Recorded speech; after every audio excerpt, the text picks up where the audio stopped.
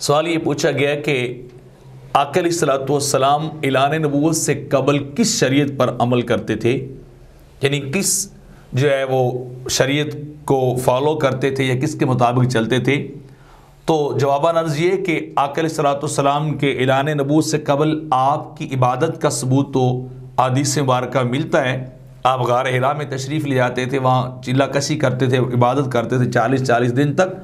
लेकिन वो कैफियत इबादत क्या है और कौन सी शरीयत के मुताबिक थी? इसके बारे में कोई एक राय जो है, वो मुतफ़ राय नहीं है। ओलमा ने काफ़ी सारी आरा लिखी हैं अलग अलग करके, जिनको उमदुलकारी के अंदर जो है वो साहिब किताब ने नकल किया। वो कहते उख्तलिफ़ी अला समानियत अकवाल इस बारे में इख्तलाफ और आठ कौल नकल किए गए हैं। एक ये है कि वो इब्राहिम सलाम की शरीत के मुताबिक आकर सलाम जो है वो ज़िंदगी गुजार रहे थे। दूसरी है बात यह है असानी भी शरीत मूसा। मूसा की शरीत तीसरी, ईसा चौथी नू सलाम। और पांचवी जो है, आदम सलाम के बारे में। और छठा ये है कि वो किसी भी एक शरीयत या मुतन नहीं किया। गैर मुतन शरीत के मुताबिक जो है वो सरकार जो थे, वो अमल जो है वो करते थे। और सातवां ये कि तमाम शराय जो थी वो सरकार के लिए जायज़ थी, जिस शरीर के मुताबिक दिल चाहता था, आकर सलाम जो है वो इबादत जो है वो कर लिया करते थे।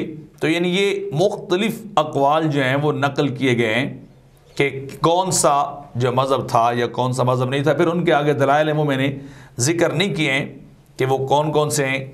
तो बहरल ये मुख्तलिफ़ जो है वो शराय और मुख्तलिफ़ मज़ाहब जो है बयान किए गए हैं, मुख्तलिफ़ शरीतों के नाम लिए गए हैं।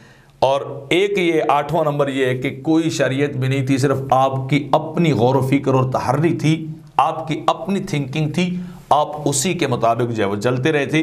तो बहरहाल ये एक इख्तिलाफ है जो उलमा का मैंने आपके सामने आठ अकवाल को ज़िक्र कर दिया है। कोई ख़ास एक कॉल या मुतफ़ कॉल जो है वैसा नज़र नहीं आता है।